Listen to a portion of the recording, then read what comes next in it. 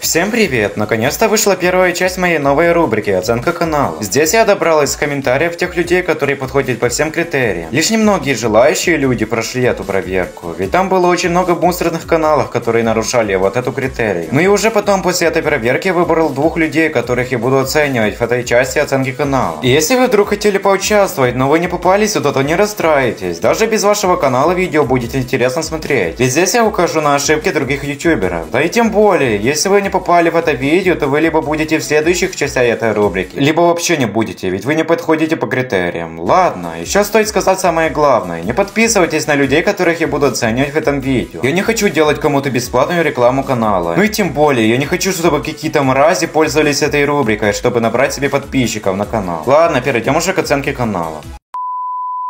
Первый человек, которому повезло попасть на оценку канала, является некий Марк. Этот человек снимает видео в стиле маразма. Сразу же, когда мы заходим на канал, то мы видим превьюшки такого себе качества. Может они и кликабельные, как у маразма, но чувак, что с качеством? Неужели для тебя такая проблема? Сделай превьюшку, в которой не будет вот этого низкого качества. Чувак, вот что я посоветую тебе по поводу превьюшек. Придерживайся дальше такой стилистики, где у тебя фон с такими же белыми линиями. И делай в такой стилистике превьюшку для каждого своего видео. Ну и главное, делай их качественно, без пикселей. Вот этого всего. Превьюшки должны быть привлекательными и с хорошим качеством. Ну и еще у тебя есть проблема с названием канала. Советую его поменять, так как тебя трудно найти в поиске YouTube. Если вдруг зритель напишет Марко, то тебя будет возможно найти только если ввести фильтр канала. А без него тебе будет нереально найти. Ведь людей на YouTube с никнеймом Марко очень много. Ну и чтобы твой никнейм был оригинален, добавь какие-то буквы или цифры. Или же добавь еще какое-то слово. Например, можешь что-то сделать со своей фамилией, ставить это вторым словом в никнейме. Так тебе будет легче найти в поиске да и твой ник будет оригинальный. Ладно, давайте же посмотрим на тему видео этого человека. Сразу же лично я замечаю видео по моему формату будущего канала, где он снял видео про Винди. Также можно заметить видео про пропажу лоу-трека, про которое уже много кто снимал видео. И вот понимаешь, чувак, на твоем этапе важно продвигаться через поиск YouTube. Если тему твоего ролика уже много кто снимал, то это значит, что твое видео будет в самом низу поиска. А поиск YouTube это самое главное здесь, ведь в рекомендации твои видео точно сейчас не попадут. Ну а если твоего видео не будет на первом или на втором месте в поиске, это значит, что лучше вообще не снимать про это видео. Хотя как тебе вообще найдет зритель, если ты даже не добавляешь теги для видео? Это очень важная вещь, благодаря которой тебе будет возможно найти в поиске YouTube. Можешь глянуть подробные туториалы на эту тему, где сказано, как написать теги под видео и как написать их правильно. Хотя даже если ты напишешь теги, но твое видео совсем не оригинальное, то оно совсем ничего не соберет. Поэтому тебе нужно придумать оригинальные идеи, которые до тебя никто не снимал, или же снимал какой-то no-name. В общем, еще у тебя есть видео топ-5 лучших ульт в Brawl Stars. Чел, вот ты снимаешь видео в стиле маразма, тогда зачем ты сделал такое видео про Brawl Stars, если твоя целевая аудитория пришла совсем не за этим? Да и тем более, это на YouTube снимали уже очень много раз. Ладно, что-то мы заговорились про это все. Давайте лучше посмотрим его последнее видео, Трэш в школе 2. И посмотрим, какой у него в роликах монтаж и подача.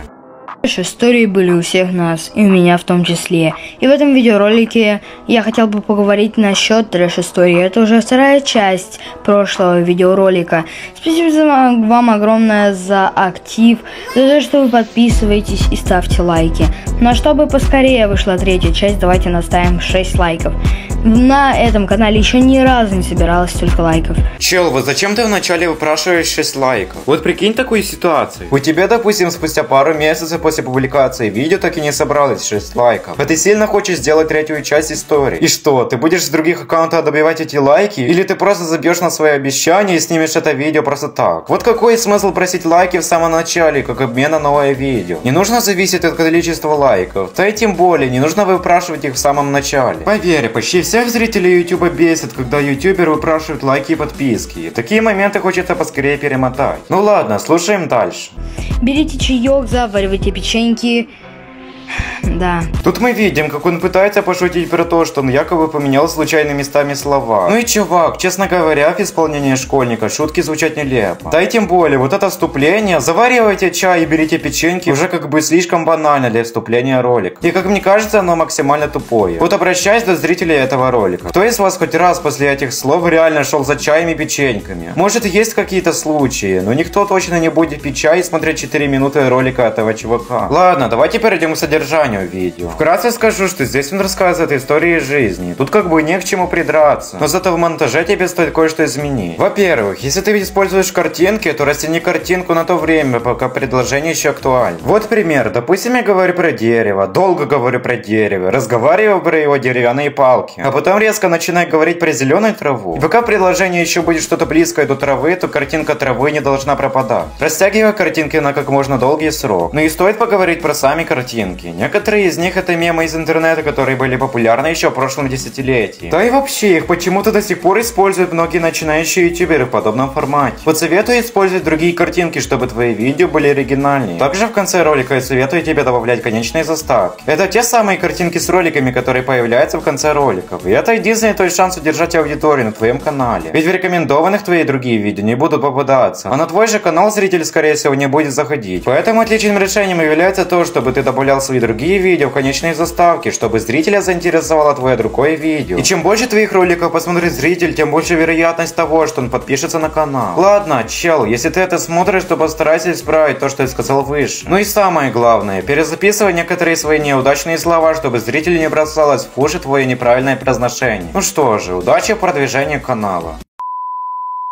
Второй чувак, который мне попался под руки, имеет название Гемный Мадеша. Первое, что я вижу, это то, что у чувака почти 5000 подписчиков, и он набрал их за счет коротких мемов по этой игре. Вот еще мне бросается в глаза его шапка. Я, конечно, не хочу придираться к оформлению каналов этой рубрики, но тут я не могу это проигнорить. Честно говоря, у меня такая кривая шапка ассоциируется с какими-то мусорными каналами, на которых выкладывается какой-то мусор. Советую хоть что-то сюда поставить. Не, ну, конечно, не обязательно нанимать хорошего дизайнера, который все тебе сделает идеально, но Желательно поставить что-то такое, что хотя бы не будет резать глаз. Ладно, давайте глянем его контент. Большинство видео это мемы без его голоса. Но я хочу глянуть видео, в котором автор канала как раз озвучивал свою роль. Так, секунду. Я даже не нажал на видео, а у меня уже есть к чему придраться. Чувак, не ставь такой шрифт на превью. Самое главное на превьюшке это то, чтобы шрифт на нем был читабельным. И он должен иметь цвет, который будет выделяться. А здесь у тебя как раз всего этого нет. Используй шрифт без вот этих дыр, пожалуйста. Ладно, перейдем уже к просмотру его ролика.